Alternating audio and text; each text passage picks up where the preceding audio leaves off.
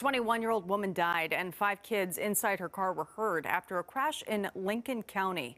Troopers say this happened on State Route 2 about a mile east of Davenport.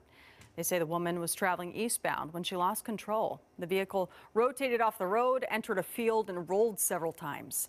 The cause is still under investigation, but, but troopers say no drugs or alcohol were involved.